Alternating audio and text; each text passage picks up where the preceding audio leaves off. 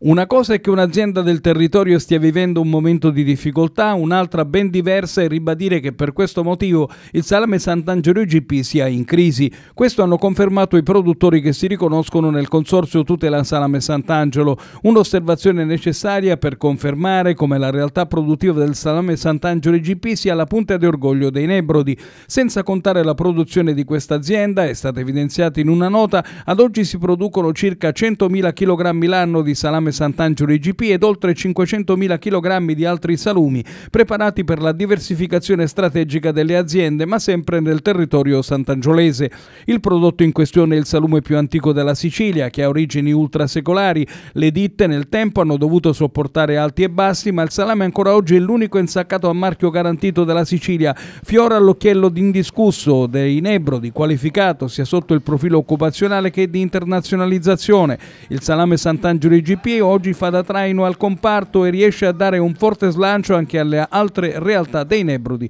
oltre quelle regionali. Che ci sia bisogno di sostegno in termini di promozione è fisiologico, hanno concluso i produttori del consorzio, ma appare ingeneroso e non veritiero, sia per i produttori che hanno investito milioni di euro che per gli addetti, i quali quotidianamente contribuiscono a consolidare questo patrimonio, lanciare l'allarme dell'estinzione del salame di Sant'Angelo come marchio dell'Unione Europea di indicazione geografica protetta, garanzia di qualità di un insaccato di nicchia, unico e non riproducibile in nessun'altra parte del mondo.